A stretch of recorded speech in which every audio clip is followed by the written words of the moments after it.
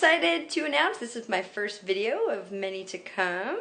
Um, I'm going to the cottage this weekend with some friends and uh, I think it's kind of silly to eat terrible food all weekend when I'm working so hard during the week. So I'm just going to share with you what I'm taking to the cottage, how I plan on staying healthy, and um, hopefully inspire some of you to do the same. Here we go. So, first off, I made a lentil salad here with a little bit of egg, tomato, some onion, um, a Dijon dressing, really simple. This guy over here, the cauliflower chickpea mix, um, I think it just has a little bit of green onion as well. Um, and it's got a little bit of Dijon mustard uh, dressing on there as well. I made these two dressings at the same time, so I cut my time in half, and they won't taste anything alike once this guy is cooked up here. All I have to do is saute it, and it'll be ready to rock.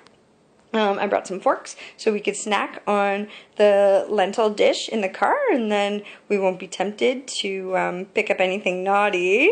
Uh, and then here we have, um, this is a millet Thai fusion dish. I just made it up the other night and figured all we have to do when we get there is heat it up and we'll be ready to rock when we get to the cottage and we won't make any bad decisions.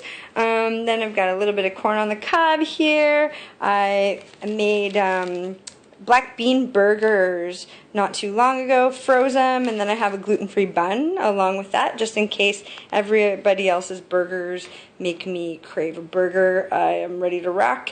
Um, my guy, he'll eat some uh, regular burgers with everybody else.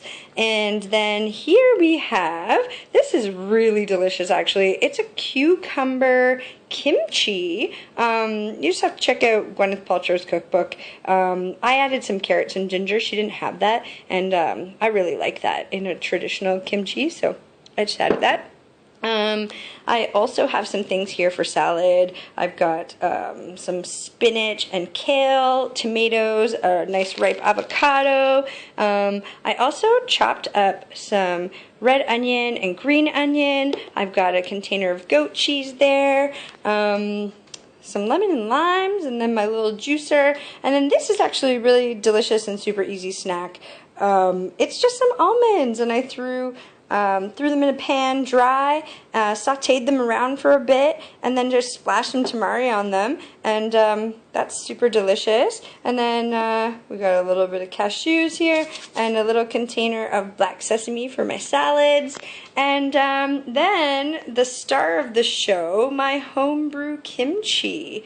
Um, or kimchi, kombucha, sorry. Um, this is my homebrew kombucha. So instead of drinking um, a whole bunch of alcohol while everybody else is. Um, I'll have my own kombucha here, and um, I might put a little bit of uh, gin or something in it, um, but mostly I'll just have the um, the kombucha, and then I'll feel great. And, uh, yeah, no hangovers. I can get up, have a run, go for a swim, just stay super duper active. Anyways, so thank you for joining me. I look forward to hearing from everybody and how they choose to eat on their long weekends. And um, yeah, stay healthy this summer. Cheers.